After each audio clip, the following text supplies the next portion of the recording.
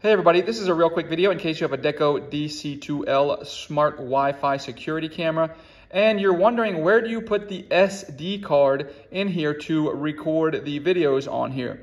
Um, so I'm going to show you how to do it. You need, first of all, you need to get a micro U, uh, uh sorry, a micro SD card. I'll go ahead and put a link in the description uh, to where you can get a micro SD card.